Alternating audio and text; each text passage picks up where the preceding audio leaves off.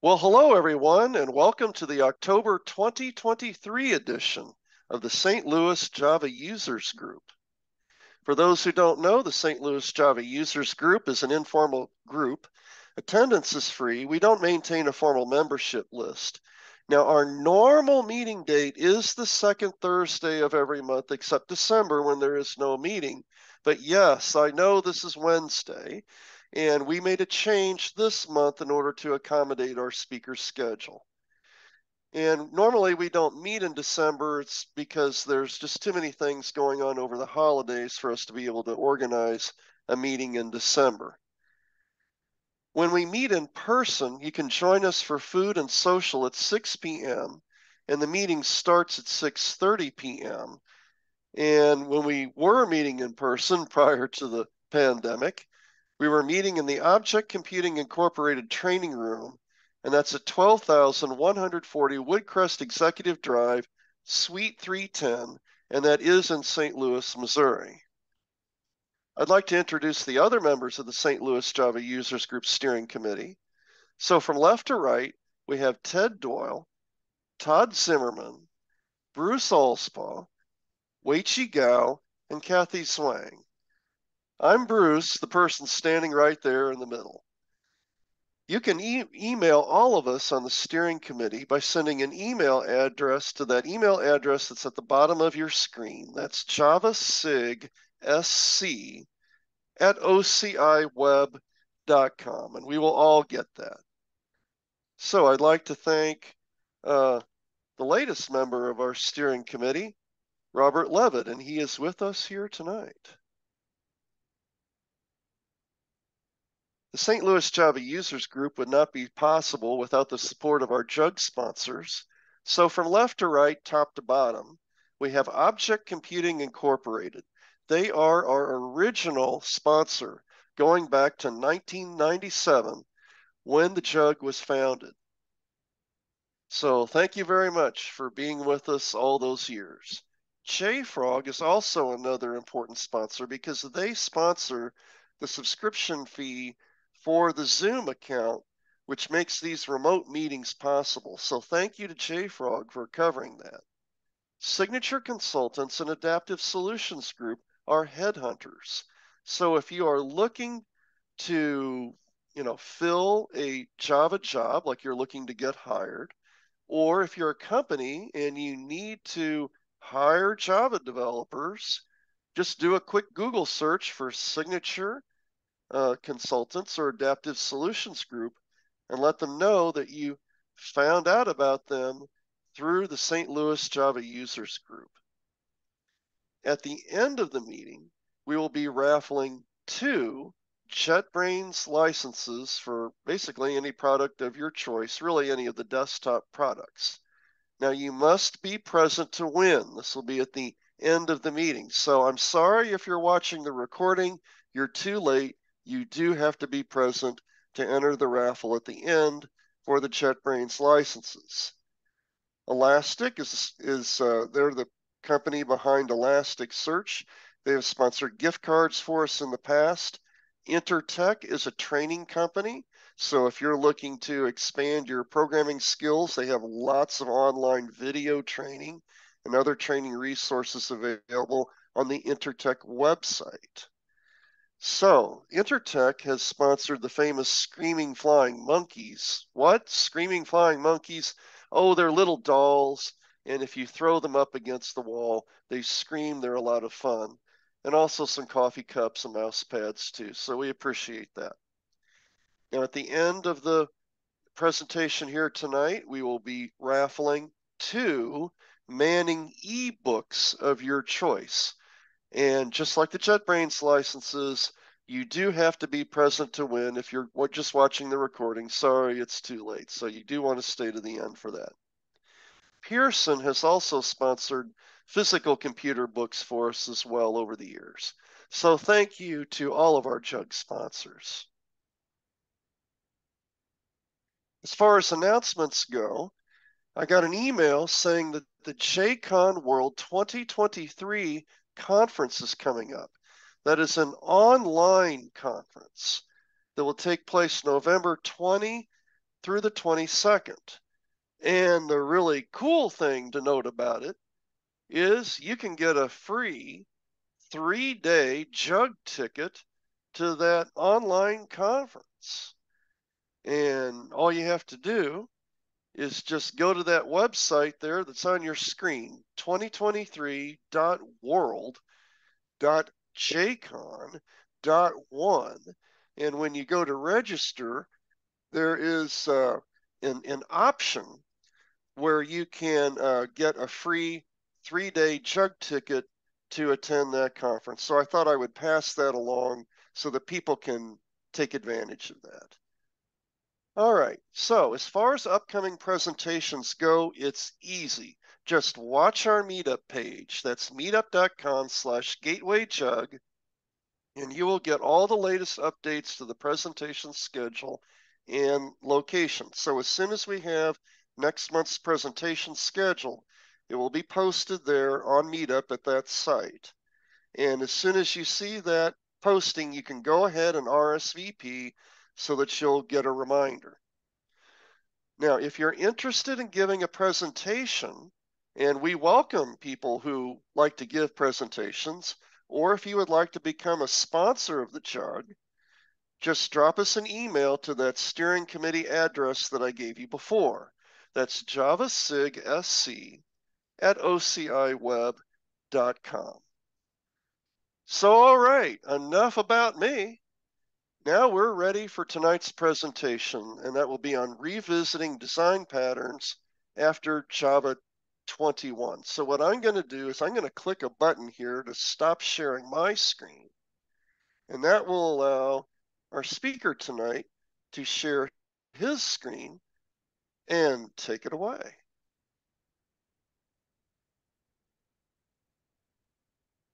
All right, I hope you can see my screen. And thank you, Bruce, and the organizers of the St. Louis Jug. I've never been to St. Louis. I hope I'll be able to meet you in person someday.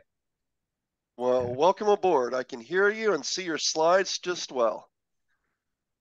Thank you. Uh, as I said, thank you for the invitation. I'm very glad to be here uh, talking to you. And I'm going to be speaking about one of my favorite subjects, which is design patterns. I know that I mentioned uh, 21. I forgot to update the number because this is a, a evergreen presentation. I'm always trying to update with the latest features of Java. Uh, nothing changed between 2021, so don't worry. Uh, it's up to date. I reviewed all my uh, samples uh, two weeks ago, so we're still up to date. Um, Edson Yanaga, you can see my email on the screen just in case you have any questions. If you want to reach out to me, you can always email eyanaga at google.com. Or if you want to follow me on Twitter, it's at Yanaga. And I try to be consistent across most social media. So if you just type Yanaga, it's very likely that I'll be the one you, you'll find. If not, it's probably related. So maybe they'll be able to, to point it uh, to me as well. So when we're talking about design patterns, of course, the idea comes from this book, the original Gang of Four book, which was released in, in 1994. So it has been quite some time. And the samples also were written in C++, and a lot of things changed. Uh, first of all, we're in a Jug meeting, so of course we're Java users and Java developers. And you know that it took some time for us to be able to find some books about design patterns uh, in which the examples were written, written in Java. So, and not only Java, but we the samples that we had in the past were written in older versions of Java. Technology evolved, the problems evolved, the context changed, and now we have different ways of solving the same problems or new problems that can be solved in new ways. So that's why I, I, thought it was important for us to revisit this particular subject. That's why we're talking about design patterns tonight. And some of the ideas that I got from this book, of course, after I started my research, I found a lot of content, some very good repos on the internet. For example, I found a talk from Mario Fusco about five or six years ago yeah, we had similar ideas in some design patterns. So it's nice to see that uh, the community can converge to some to, to some reusable uh, solutions for the exact same context uh, from different people. Some other design patterns, some of them I took from this book, Domain Driven Design, which is also a classic. I think Domain Driven Design from 95, 97. So it has been quite some time that the book was written as well. And of course, uh, Effective Java, also a favorite subject uh, uh, for myself. I also have a, another talk revisiting Effective Java. I have multiple different recordings on YouTube just in case you want to check. And I got some of the ideas from Effective Java into this talk. So these are some of the the sources of the of the content that I'll be presenting today to you. Java 21, very fresh, was released last month. Uh, we're uh, three weeks away. So September 19th, uh, 2023. So uh, if you're still using Java 8, 7, Java 11, Java 17, a lot of things change in the Java language, and we'll be using some of the latest and greatest features of Java. I think the big game changer was Java 8 with the Lambda expressions. Uh, I think it changed uh, a lot of the old legacy design patterns that we had. But of course, some of the recent features of uh, of the latest versions of Java, they changed some of the design patterns that I'm going to show you today. So if you're still stuck in an older Java version, if you can upgrade, I strongly recommend you to do so, not only for the security updates, but also because of the developer productivity features that we have available. And you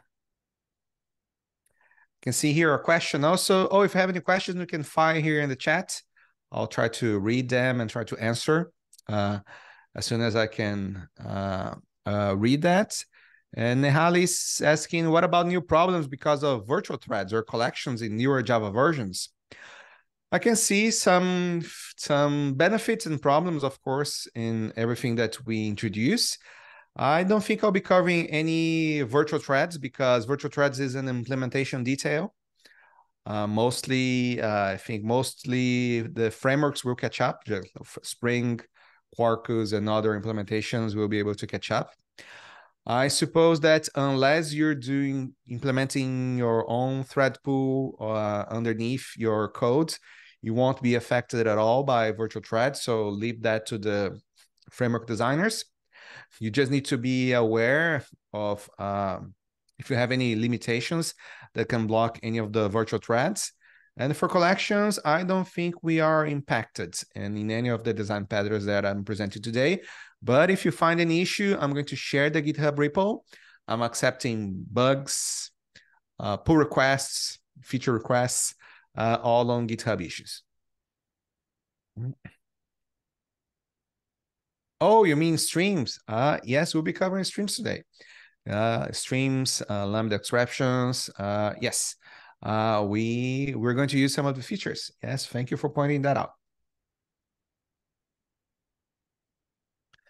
So some context here. A design pattern is a general, reusable solution to a commonly occurring problem within a given context. So for us to be able to name something a design pattern, we have to, to focus on the, the blue words here. General, reusable solution for a problem within a given context. If you try to apply a design pattern in the wrong context, you're not trying to create a solution. Very likely you're trying to create more problems than you had before. And one of the fun stories that when I first heard about design patterns, when I learned about design patterns back in 2000, I had a I had a class about uh, design patterns, and I found oh that's a wonderful idea. Then I went back to my code base and I was trying to find problems to be able to use the design patterns. And I still remember the first time I uh, I read about, for example, the visitor design pattern, which is very complex and very hard to read, but I wanted to find. So I created a problem so I could find the solution. And I was very proud of myself at the time. Now I just know it was something stupid just to, uh, it just created more problems than what, we had before. So it's important for us to remember general reusable solution for a problem within a context. change the context. Uh, design patterns they have trade-offs. I strongly encourage you to to know and learn more about the trade-offs. If you don't have the right context, uh, you won't be able to to access the same trade-offs. You'll probably have a worse solution than you had before. But I also think that uh, the greatest benefit of design patterns in the past 25 years, 25 plus years, was that design patterns allowed us to create a pattern language. So now when we're talking to other developers, older or younger, or when we're a team, we're uh, into a new team and we want to explain a problem or a solution. For example, we you find a code base. Oh, and I had this particular piece of code, this problem that we want to solve. We want to be able to have like pluggable implementations, and we want to be able to change the implementation that we're going to use depending on the type uh, of the class that is going to be used. And we want to be able to change the, the type at runtime. It needs to it needs to be configurable and it needs to be expandable, extensible. So, well, I just spent like one or two minutes trying to explain the problem and the solution. Uh, 30 years ago, maybe I needed to do that. But today, if a person know design patterns, they would know that automatically what I just explained. Oh, you mean you want to apply a strategy design pattern. So we created a pattern language and we can share this knowledge. Oh, you should be using a, a strategy here. Yeah, maybe a strategy is not a perfect match. Maybe we could be using like a visitor, or maybe we could use an enhanced switch from Java 20 plus. Uh, so we can discuss, uh, the discussion goes a, a, level higher because we already have a common ground of knowledge. We already know design patterns and we can share this common knowledge through a pattern language. I think that's one of the greatest benefits of what we're doing with design patterns. And some of the guiding principles that I had when trying to create or propose some new implementations for these design patterns were, of course, uh, uh, got these from some great authors from other great books. One of them from the original Gang of Four book, favor composition over inheritance. So you see that especially after Java 8, we're favoring much more uh, lambdas and functional interfaces than inheritance. And we're trying to compose those solutions instead of trying to create a hierarchy of classes in whatever we do. So we're using much more interfaces and functional composition rather than trying to create hierarchies in our in our code base. second principle favors smaller interfaces instead of trying to create interfaces with multiple methods. Now we're trying to create interfaces with at most one abstract method. If you want to create interfaces with default methods, it's okay, but most of the most of the time you should be favoring smaller interfaces, one single method, and why is that? Because if you have single methods, you can use that particular interface as lambdas. And uh, another principle that we need to emphasize here is to not only have smaller interfaces, but uh, favor existing interfaces in the JDK. You see in Java 8, we introduced about 39 functional interfaces in the JDK. And now we have even more. And this functional interface that we have in the JDK, very likely they're covering 99% of the use cases that we have in our code base. For example, if we have, uh, if we need an interface that receives one parameter and uh, of type of one particular type and returns the same type, you have an operator. If you have like, if you're returning a different type, you have a, uh, uh, function. And if you're you're receiving a type and you're returning void, you have a consumer. If you receive void, you, you have no arguments and return a new type, you have a producer. So these are the interfaces that are already available on the JDK. Most developers by now should be aware of most of those interfaces. So they already have a pre-existing knowledge. You already have a, a language to share uh, with other developers. So you don't need to create a new interface because every time you create a new interface, you're creating a new noun. And whenever somebody digs into your existing code base, they need to learn what does that noun mean? oh, whenever you have this noun, this particular interface, it means that I'll have this method signature. So you have more, more area to be able to cover when you're learning a new code base. A counter argument to that, of course, trade-offs, is that uh, when I was presenting this session at Devoxx France earlier this year, one of the um, uh, uh, developers over there, they they told me that sometimes I want to create a new interface. Yeah, even I want to extend an existing JDK interface, for example, a function. I want to extend that just to give a new name. Because when I'm writing, I want to be able to click on that interface in my IDE and I want to be able to search for that. And then I'll find all the occurrences of that particular interface in my code base. I think it's a perfectly valid point. So, as everything that we're doing, there are trade offs. I want you to have the knowledge to be wise enough to know when to use one of these proposed solutions that I'm going to present to you and when not to use it. So, we're here to share knowledge. I'm not saying that uh, everything I'm saying is truth. I'm saying that it's uh, something that we maybe we should know so we can tell when it's a good solution and when it's a bad one. Remember, context. A design pattern is a general general reusable solution for a problem in a given context. So it's it's always nice for us to, to know the context is which we're applying our, our knowledge. So some of the patterns that I'm going to cover today, I don't know if I'll be able to cover everything because of time, and I know that uh, the source code is available. You'll be able to to appreciate the, the the lines of code much better on your own time later uh, uh, on GitHub. You can clone the repo. You can check if I made any mistakes. And actually, last week I fixed a bug a bug in the code base. I uh, had like two lines. Uh, there was a bug on that. Somebody filed an issue on GitHub. I quickly fix that. Thank you so much. That's how we evolve the existing knowledge that we have here. So some of the proposed solutions that I have today are for the command design pattern, observer, strategy, template methods, singleton, interpreter, chain of responsibility, visitor, and specification. We might have more. If you know uh, where are where any new implementations, please, if you could uh, forward that to me, I'll be more than glad to update both my presentation and my GitHub repo. Okay. And before we start with the actual code, I'll try to do some live coding to explain some concepts.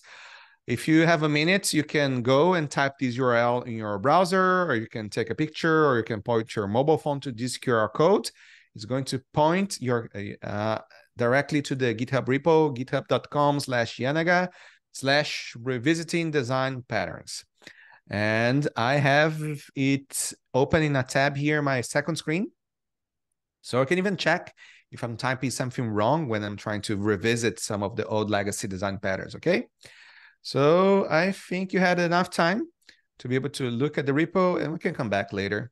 Uh, of course, maybe you can even type here the message github.com slash yanaga slash revisiting design patterns. Okay. So here is the link in the chat as well. So command. Uh, what is uh, the command design pattern? The command design pattern is used when we want to assign what? Assign a type, assign a noun to a particular function in the system. So instead of just writing the method in an existing class, we want to create a type to give it a noun for an existing operation in the system.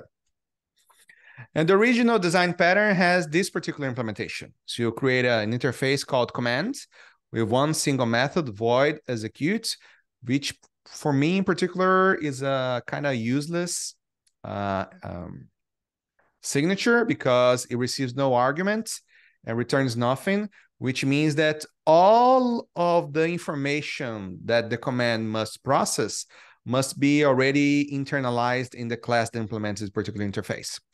Can be a good thing, can be a bad thing. I don't know. I think most of the times you want your method to either receive an argument, at least one argument, and return something other than void. But I'm not here to discuss that, just to say that, well, command is when you want to what? To get an operation and give a type to it, give a noun to that particular operation. So you can possibly reuse that in other contexts, or you want to encapsulate everything and make it run in a separate context, maybe in a separate thread.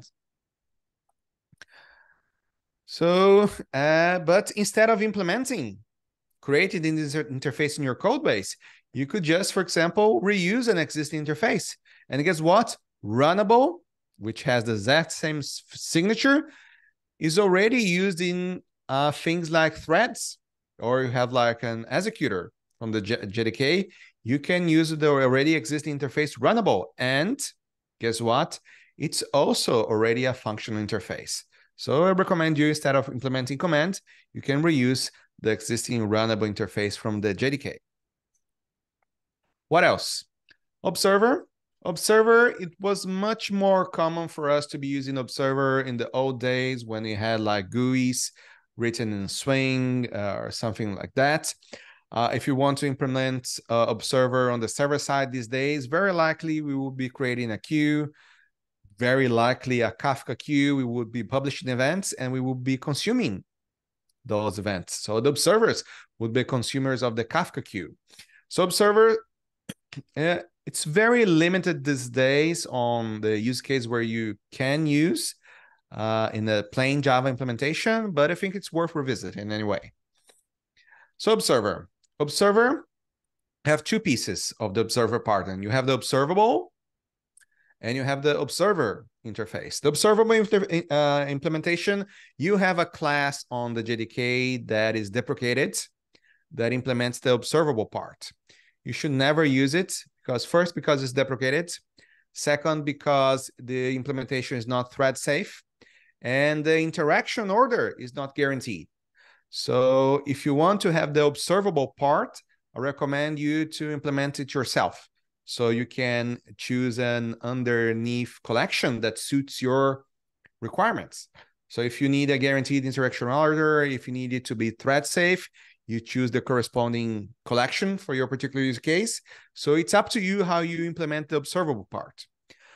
Regarding the observer part, which is the entity that is going to be notified about changes in your objects, you could be creating this interface observer uh, already with generics. You have an observer of type T. And when you receive this notify of type T event, then you're going to react to this particular event on this method that you're going to implement in your class. Instead of creating this interface, well, in the JDK, you have another interface with the exact same signature, which is a consumer interface. Consumer of type T, you just accept a type T, which is very likely an event that your observable uh, class object is going to send to the other observers. Okay. These are the two simplest ones, uh, very likely, and now we're going to dig into the more interesting ones that we have today. So strategy, by far the most common design pattern used everywhere. So how do we implement the strategy one? Let's move to my ID. So the old way for us to be implementing the, the strategy design pattern is to, well, I create here an interface for example, if you're using, if you decide to use Google Wallet, you learn that there are multiple different ways that you can add passes to your Google Wallet. And here, the definition of strategy is that I want to create a type that represents a different ways for me to implement the same operation. So here I can create a Google Wallet pass by creating a complete jot with all the information contained in a single jot, or I can pre-create the information and just use the IDs in the JOT. Where it's very good when, for example, you already know that the user is going to use the pass anyway, and you just to have a small footprint on your the mobile device of the user. So, but if you want to create on the fly, maybe the complete JOT is a better alternative for you. So there's no winner here. It really depends on the context, but you want both implementations in your system. So what do you do? You create an interface with the methods method signature that you need, and you create two different implementations. With here is just a dumb implementation. I just return different strings. And my concrete classes, they both implement the, the same interface. And if I want to use this implementation at runtime, I just create a class here, the Google Wallet endpoint, and I set the strategy that I want to use in this particular case, new pre-created jot, and it's done. If I want to change that, I could just new complete and voila, I have a different implementation at runtime. So typical strategy implementation. Guess what? In 2023, using Java 21 Plus, we don't need to do that anymore. Uh, so the implementation that we can use here is uh, we can do this. Instead of creating multiple different concrete classes from the same interface, what we can do is that in the class that is going to consume the strategy, I can just say, well, set function, because what I did, my strategy, the method signature of my strategy before is just a function which receives a pass information and returns a string. So I'm reusing the existing JDK interface for the strategy. So set function, I could remain this method set strategy just to be consistent. And uh, instead of implementing that, I have a field here in my class, which is a function and the corresponding setter.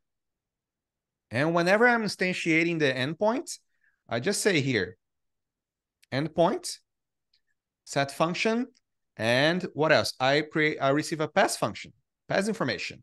And what do I need to return? I need to return a string I can new jots with pre-created information. If it's a single one-liner, I can do it this way. But of course, if your implementation more is more complex, what would you do? You would be implementing that, that in methods in another class. And what you could do, I created here a class. I created a static method if my implementation doesn't require any other context from other instances, I can just create a static method and provide the implementation here. If my implementation requires information from other instances, then I create an instance method and I have another implementation here. So I can do this. I can provide the information on the fly. If it's a single one-liner static information, I can also use a method reference say add to Google Wallet link, and then it's complete because that's a static method. Or I could even use this set function. I can create a new add to Google Wallet instance and use the pre-created method from the instance. So if you're using Java 21 Plus, well, you could use this since Java 8. You can use a method reference here. This instance very likely would come from a from a dependency injection framework or something like that, or you could use like a factory to instantiate it, but you're just using an, uh, an instance uh, method reference here. So that's how you would be using, implementing the modern version of the strategy design pattern using new resor newer resources from Java and uh, everything that I'm shown to the, uh, right now is available since Java 8. Okay, so this is a strategy. This is the simplest possible design pattern that we could cover today. Let's move forward. So the next one, template methods. What does a template method do? So let's go here to the legacy implementation of template method. The template methods, a typical use case. You have multiple different implementations of the same thing, but there are some steps in your code that are always the same, either in the beginning, either in the end, or both. For example, for me to be able to issue a Google Wallet Pass, I always need to authenticate. So this method here needs to be called always. And I need to create a pass, which varies depending on what type of pass I want to create. I want to create, do I want to create an event ticket? or a loyalty card or a boarding pass. The type of the pass changes, but uh, uh, the other part, the authentication and the sign signing of the jot uh, that is created, it's always the same. So I have something that is always the same here, always the same here, but the middle part, it varies between implementation. Well, that's when we would use a template method. So typical legacy implementation would be, I would create, uh, I have a method called create pass. I create an abstract method called do create pass in an abstract class. Okay. And then in the concrete implementations that are going to extend this abstract class, I implement the part that is different between implementations. So if I have a loyalty Google Wallet Pass, I, well, I return a loyalty with the loyalty information. If I have an event ticket, I'm going to return the event ticket information. If I have a boarding pass, I'm going to return what differs. So, and this method implementation, of course, can be very long.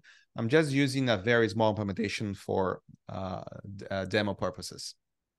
Okay, so this is the legacy implementation of the template methods. And when I'm using this code, what do I do? Well, new Google uh, here, I get get Google Wallet Pass Creator. I'm returning the abstract class. And then I can change the implementation here, event ticket. But I could say, well, return a loyalty Google Wallet Pass Creator. Okay. And I invoke the method create pass and I pass the information. This is a legacy implementation. Okay. And as I shown here in the slides, in 2023 with Java 21 Plus. Uh, the best way for you to use a template template to implement a template method is to not implement at all. Template method is deprecated. We don't use template methods anymore in 2023. What we do we do instead? We replace template method with strategy. So how can we do the same thing but with instead of using template methods, using a strategy? Well, same code here, I have a method called create pass that has an authentication and a signature uh, uh, signing method here. In the end, what is the part that is different between implementations? Well, instead of using an abstract method, I receive what? I create a strategy. So again, I create here a field uh, of type function, which receives a pass information and returns a map of string string as a strategy, which is uh, provided in the constructor. It could be a setter as well. I just like constructors. And whenever I need to invoke it, I just do strategy.apply and I pass the pass information.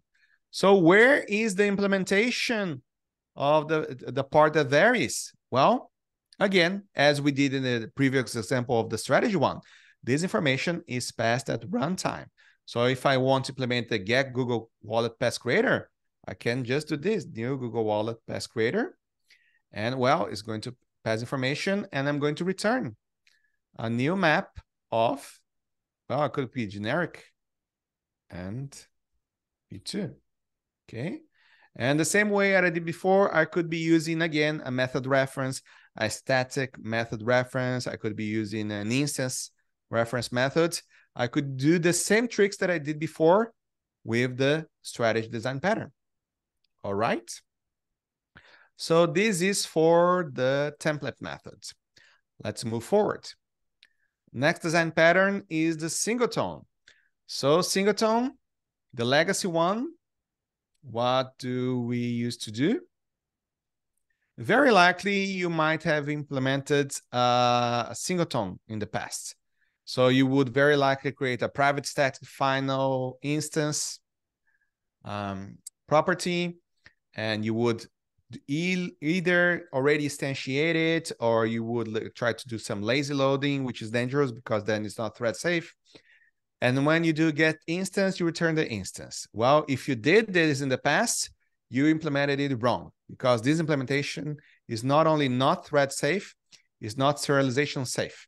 So if you tried, if you had a web app with multiple sessions, uh, and your sessions could be, you had a cluster, or your sessions could be passivated and activated, you thought you had a singleton, but very likely you had multiple instances of that particular class in your uh, JVM memory, because this implementation doesn't guarantee that there is only a single instance.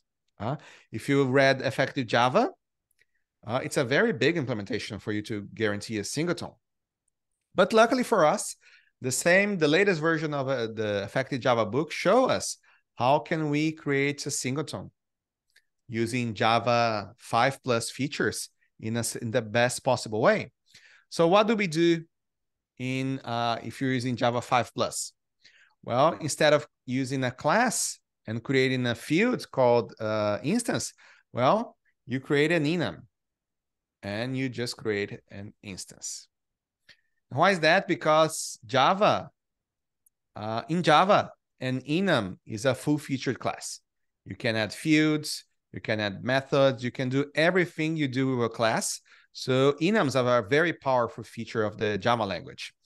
With the added benefit that uh, enums are thread safe, and enums they have the the uh, they guarantee there's there's only going to be one single instance in the JVM memory for each one of the enums that you declare. So if you declare only one, just as I did, you know that no matter what happens in the JVM, if the session is serialized, if it's moved, if it's activated, passivated, you will always only have one single instance in the memory, guaranteed. So this is the best possible singleton implementation that you can have in the JVM. If you want to create a method here, well, of course, public void run, and you can have a string s, oops, string s, and you can have your, impl your implementation. You can have a static method as well. Oh, and it can return something, produce. Okay, so a singleton, an enum, as an enum is a full feature class. You can do everything that you might need with it. This is the best possible way to implement a singleton. What's next for us? Interpreter. Interpreter, I'll be honest with you, I'll leave it as homework because in my 25 plus years programming Java, I'll have to be honest with you, I never used the interpreter design pattern in production. I coded it in my GitHub repo just because it was, I thought it was a great exercise. I have a I have a new way of implementing the interpreter design pattern with the latest features of Java. But as I said, I never use this in production. I hope you don't I have to. But just in case you do, it's available on the GitHub, GitHub repo. And why is that? Because I'm aware of the time that we have tonight, and I want to spend more time in more interesting design patterns. So let's move forward with this one. But again, it's on GitHub. You can always check the implementation over there. And it's a very fun one uh, if you want to try. Uh, but I'll leave that as an exercise because I want to use two more uh, useful ones, such as the chain of responsibility design pattern. What does the chain of responsibility do? Well, chain of responsibility, uh, a typical use case. Uh, you have a, a notification in the system and you want to notify your users in multiple different ways, but it's configurable. Like the user can opt to be notified by SMS, by email, by a Google Wallet pass notification, by a phone call, whatever. So you have multiple different options. And it's configurable. The user can choose which of the options they want to receive, and it can be ordered. So you can set a priority to the order in which uh, the notifications uh, are applied. And what's uh, most important, if the user already receives a, received a notification you don't want to spam the user. So if the user configured that my first option is email, you don't want to send an email, an SMS, a Google Wallet Pass update, and a phone call. You just want the to use the first one that succeeds. This is the perfect problem for a chain of responsibility solution. So how did we implement the chain of responsibility in the past? Let's move here, the chain. So the legacy chain of responsibility would do this. So I have a user notifier interface. You will need to create a notify method. You give the context, in this case, the user profile with the preferences uh, for notification. And you always need the next the next piece of the chain. So you need the set next notifier. And you would implement an abstract class with a next notifier here. And for each one of the chains, uh, chain links, you will need to implement uh, this particular logic? Well, for the Google Wallet Pass Update Notifier, if the profile has the Google Wallet has a Google Wallet Pass, well, you do whatever you need to do to, to send a notification. Else, if the next notifier is not null, you call the next link in the chain. Else, you throw a new runtime exception, for example, or you could ignore. It really depends on how you're going to implement that. For the next link in the chain, email notifier. Well, if the profile allows email, you do whatever you need to do to send the email, or else, well, the user doesn't want an email. then you check do you have another notifier in the chain? Do you have another link in the chain? If you do, you invoke the next one. So you're basically cascading method invocations uh, inside your chain for each one of the links in the chain. Okay, SMS, whatever. Then you would have to go here into your code. You would create the Google Wallet Pass Update notifier, the email notifier, the SMS notifier, and you would have to assemble the chain by saying, this is the first link. Well, the next link is the email notifier. Then the email notifier, the next link is going to be the SMS notifier. And you have a very long chain. You have a lots of methods to just set the next one. And if you want to change the order, you would be go, oh, the next one is SMS. Then you go, have to go here, change. And then SMS. Oh, now the next one you have to change here and you need to put the email here notifier. So it's very error prone. This implementation is very error prone. Not only here when you're building the chain, also here when you're implementing the links of the chain, because you basically have to copy paste this code in each one of the implementations. And it's very easy for you to miss and forget, forget, forget to change, for example, the property that you're checking or the business logic here if you're copy pasting code and you need to change it every time, it's very easy for you to mess up in any of those steps.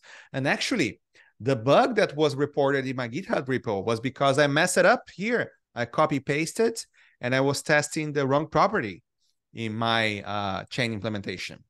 So this it solves the problem. Huh? Oh, Ted here. So put the notifiers in a list. Yes, you could uh, you could do that, but then you uh, the notifier would uh, you would need to change the implementation. So each one of them would have to return a boolean, for example, to check if the notification was sent, and then you had to interrupt the processing.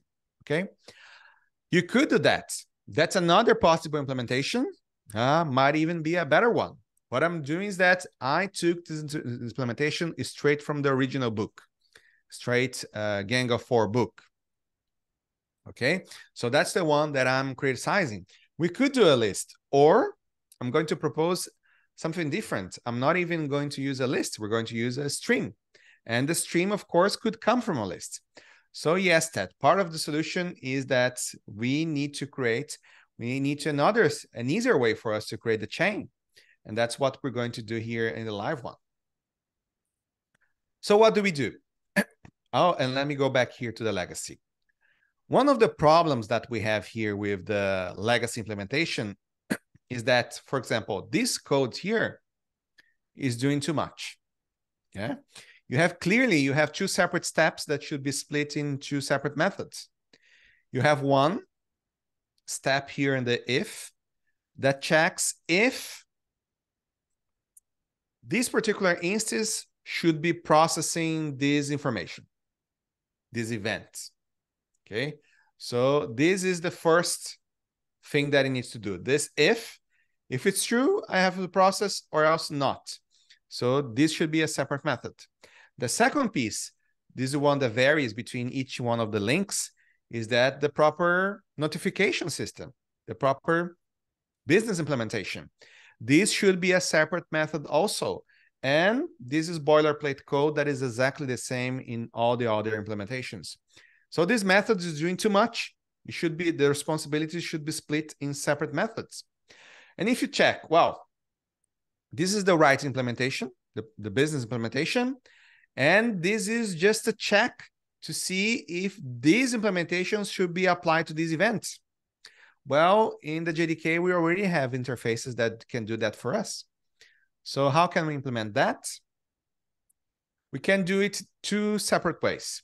You learn that the part that tests if this instance applies to this particular event is a predicate, a predicate that receives a user profile and returns either true or false.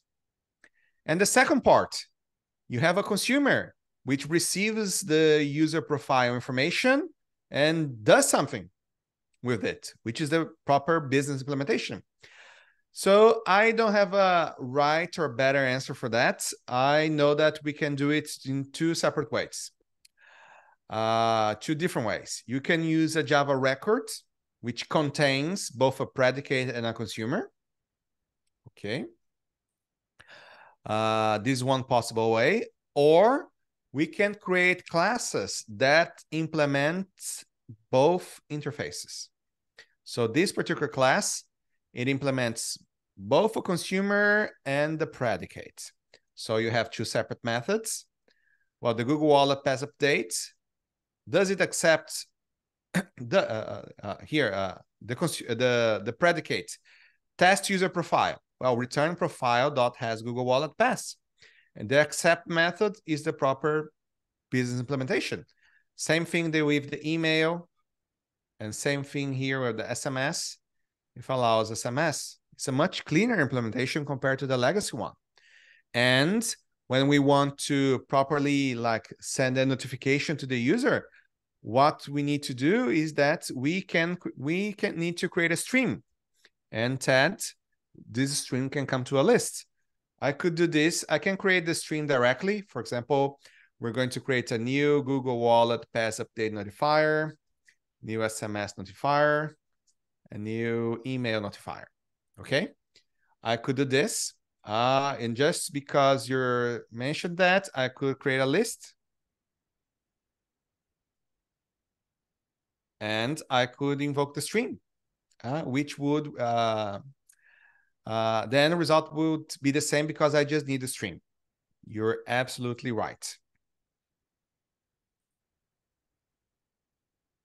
And stream off and what else? Well, the first piece of my stream is that I need to filter all of the notifiers that uh, that can accept the user profile. So the first I'm going to do n dot test, and I use the user profile. And I know why IntelliJ suggests me to do this because it's optional. First part is filtering, and I don't need to go through all of the elements in the stream. I just need to find the first one for which this operation returns true. Well, the first one that checks, return true. And once I find the first, if it's present, I can do what? I can do n dot accept and is going to accept the user profile. I don't know why my auto completion shows this, but it can be simpler like this one. Okay. And if you want to throw an exception, if you can't find uh, the notification, you could use even or else, uh, which would have a consumer as well. And you provide either you throw an exception or most likely the user doesn't want to be notified at all you just ignore it, which is exactly what we're doing here uh, with my code. Okay. So this is the modern way for us to be implementing with Java 8 plus features, the, the chain of responsibility design pattern. And as, as Ted mentioned, this stream could come from a database, could come from a list, from a file, doesn't matter. As long as the stream, you can do this with the added benefit that if you want to change the order, you just do this just go through here the code. Well, uh, now I just changed the order and my code is running beautifully. Okay. Lawrence is asking here, is there a way to mute someone from typing if their cat is walking on the keyboard? I don't know if you can do that automatically, but uh, it would be very, I'm not worried about the sound. I'm worrying about the commands that the cat is sending to the computer. Good point. So let's move forward. Chain of responsibility, visitor. Let's move to visitor. This one uh, as I said in the in the beginning of the presentation, visitor. The first time I tried, I wanted to find uh, a problem to be applying the visitor, and there are very few situations in your uh, career as a developer where when you need a visitor. But if you need a visitor, you need really need a visitor because that's the best possible way for you to be uh, solving the problem. Okay. So uh, what can we, um, and let's give you some context. A visitor is useful for, for example, you have a code, you have like a type of customer and uh, the customer or your clients can be either uh, an individual or can be a corporation. And you want your operation to vary depending on the type. So what you do, you create a strategy. So in the client class, you would create a method called process invoice and you would implement it differently in the individual and in the corporation okay? But then you have another module in the system that has a different business knowledge uh, logic for another thing. If you want to send a shipment it's different if it's an individual or if it's a corporation for the shipment for the shipping module. So in the shipping module, you would create another method in the client class called shipment or start shipment or something. So you would implement it in differently in the individual and in the corporation classes. And then you start to have a problem because you have multiple different operations in your system and they vary between the type of the client that you have individual or corporation. And suddenly your client class and your individual class and your corporation class they become bloated. To make matters worse your very likely your client is inside a bounded context is in a certain module already in your system but the shipment module, which has the shipping logic, depends on a type that is available in other module. And then suddenly you have business logic that should be belonging and should be should be stored in the ship uh, in the the shipping or shipment module and is implemented in another module and the invoice system the invoice module also has business logic that is in the core module. So you have uh, you have like low cohesion and low in high coupling in your system, which is something that you want to avoid. When you face this particular situation, the visitor design pattern is one of the few design patterns that allows you to decouple the logic. So you have an operation that varies by type, and this type is declared in another module and you want the business logic to still belong in your system, that's when you use a visitor. Okay, and let's show you some code on how can we do that. So the legacy implementation of the visitor design pattern is like this one. So you have, I have here my hierarchy. I have Google Wallet Pass, can be a loyalty card, can be an event ticket, and can be others. For each one of my concrete implementations, I have in my visitor interface, I have this method, visit, concrete interface, and the type. Visit, concrete implementation, and the type. And then when I'm calling this, and I want to create a new operation in my module, the, the shipping module or the invoice module, I do this. I get a card and I create, uh, I call accept, and I create a new visitor with the operation that varies by type. So if it's a loyalty card, I can code my stuff here. If it's an event ticket, I can code my stuff here. So that's how you can create like uh, high cohesion and low coupling in your system when you have multiple different modules. And your operation needs to vary by the type that you're applying the operation. So this is the typical solution of the visitor. The problem is that the person needs to know it's a visitor and the visitor is very hard for you to read. So because you have this very long implementation, you have to create a visitor, it needs to visit different types, and you need to create a visitor interface. And to make matters worse, if you create a new type, generic pass extends Google Wallet pass. Okay, and you implemented it. Well, if you forget to do, to do this visitor.visit, this, well, now it's not compiling. Well, you have to add it to the generic pass. So as long as you don't forget to provide this implementation, the visitor is compile time safe, which means that if you added a new type to your visitor and you implement it properly here, your compiler will complain that you didn't add these particular methods in your interface and all the visitor implementations in your system will break. Okay? Because, well, if you have like 10 different implementations across your system, you know that it won't compile, you won't be able to deploy your system, which is a good thing. And why is that? Because it's much better than having a runtime exception. Because you sent the update, your system has been running for one month, and now suddenly you have a problem because, well, nobody called this particular method for this particular time type until today. But today we have a major uh, bug in production because it's a runtime exception and not a compile time error. So uh, one of the benefits of the visitor is that it's uh, it's compile time safe. You need to implement it here, okay?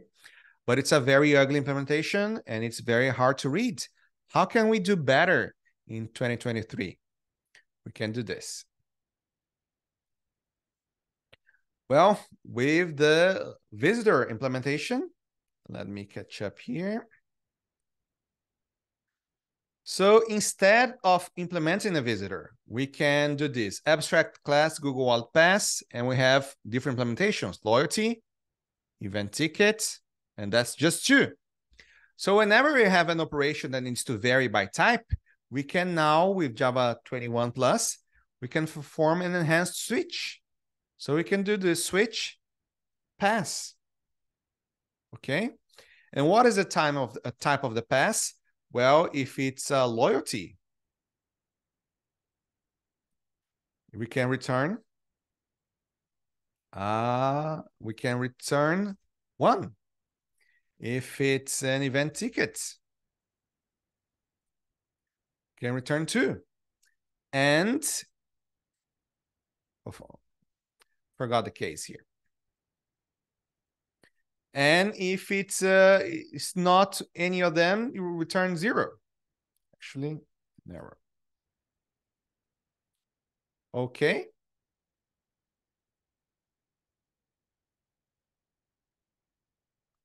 Let's see. L. Oh, I need to provide E. Okay. That's what was missing in my implementation. So I return and I need a default here. Why is that? Well, because just in case you didn't cover all the, uh, the types, you need a default implementation. Okay. How can we improve this with Java 21 Plus? Well, luckily for us, now with Java 21 Plus, we can create sealed classes. So if we create a sealed class, I can say Google Wallet Pass is a sealed class and it only permits loyalty and event tickets. I exhaust all the possibilities. And here, because these classes are final, the default piece is optional. Why? Because all the possibilities are already covered in my switch. Okay.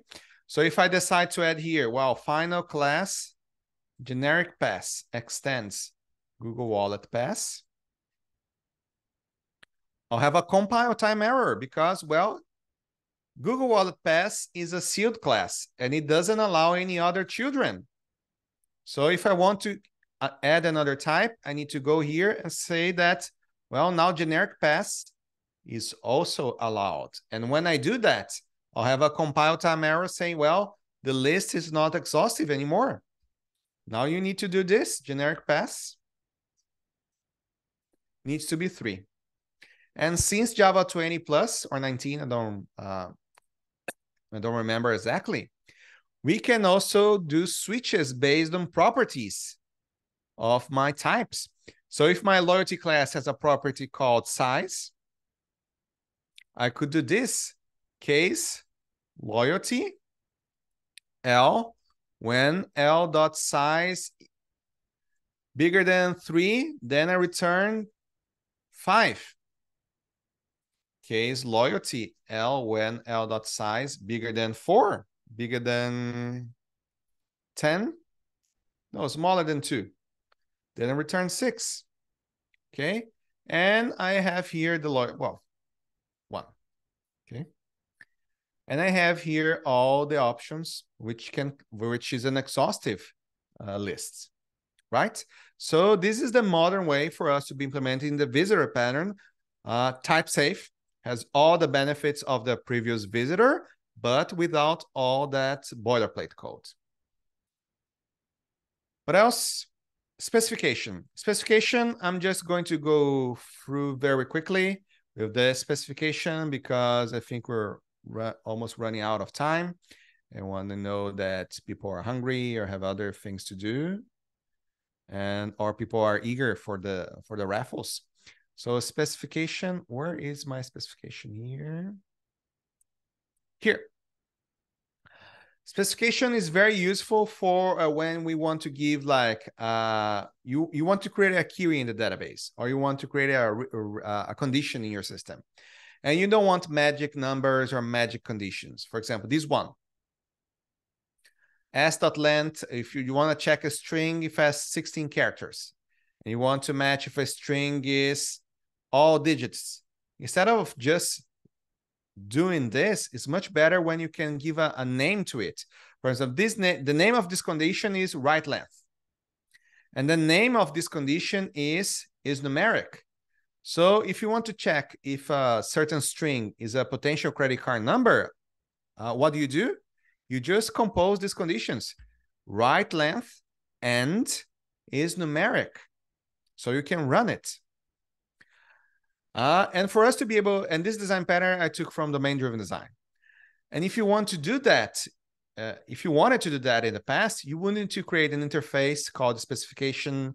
You would need to implement the and, the or, the not conditions, and you would need to create concrete implementations for each one of them. Luckily for us, in 2023, we don't need to do any of that because the predicate interface in the JDK is already a specification. So if we want to compose multiple conditions, we just need to do uh, right length equals to this and assign it to a predicate. And then we can compose like with uh, with the not, with the and, with the or, with all the possible conditions already implemented by the JDK. So you already know it works. You don't even need to implement tests to test the predicate. It's already in the JDK. Okay, I think that's what I wanted to show you today. Uh, thank you so much for staying with me until now. If you want to learn more about Google Wallet, please, you can sign up for our developer newsletter. We don't spam, spam anyone. We only send an email every three months, every quarter. So the QR code can point you to the newsletter. And again, my information on the right side of your screen, my email and my Twitter handle or my Bluesky, my Mastodon account, all of them are the same handle. So feel free to reach out to me. And thank you so much. I don't know if you have any other questions, but if you do, uh, I'm here for them.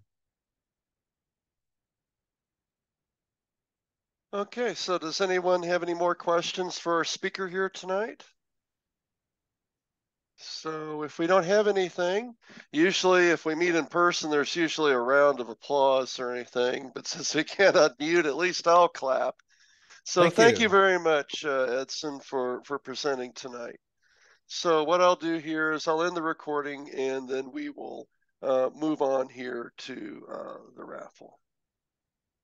Yeah, thank you so much. As I said, it was a pleasure uh, being here today at the St. Louis Jug. It was a pleasure uh, to meet uh, some of you. It's a pleasure. Uh, again, I hope to be able to meet you in person anytime soon. And well, see you uh, until next time. I I'll leave you to the raffle, and I well, cheers to the winners.